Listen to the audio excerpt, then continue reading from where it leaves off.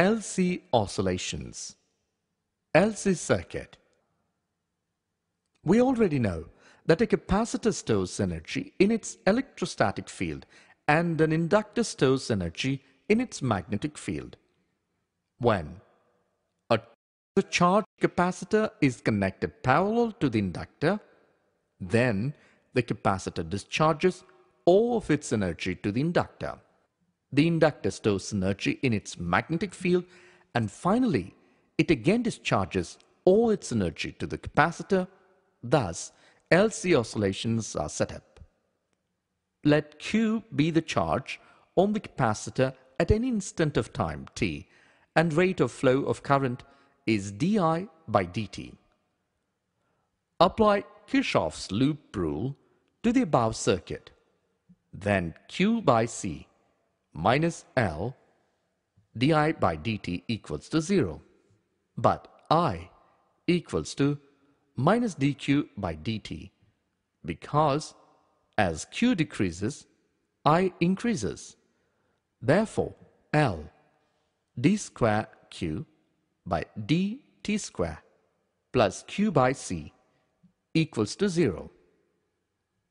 d square q by dt square plus q by L c equals to 0. This equation is analogous to the differential form equation for a simple harmonic oscillator.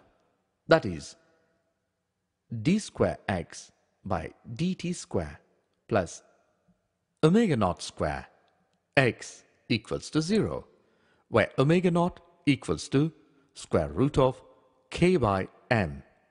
k is force constant, n is mass inertia factor. Therefore, LC oscillations has an angular frequency. Omega equals to 1 by square root of LC. That implies 2 pi f equals to 1 by root LC. f equals to 1 by 2 pi of root LC. Therefore, f is frequency of LC oscillator.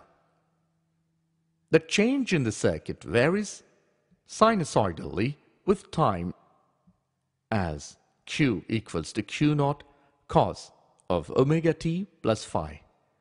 q is instantaneous value of charge at any instant of time t. q naught maximum value of change. Phi phase constant at time t equals to 0. Q equals to q naught q naught equals to q naught cos of omega 0 plus phi.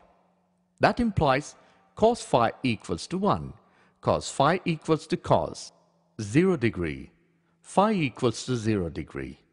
Therefore q equals to q naught cos omega t. By applying differentiation, dq by dt equals to q naught into d of cos omega t by dt.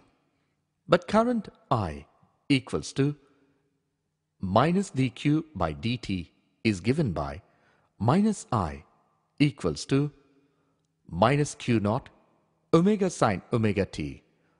I equals to I naught sine omega t, where maximum value of current I naught equals to q naught omega.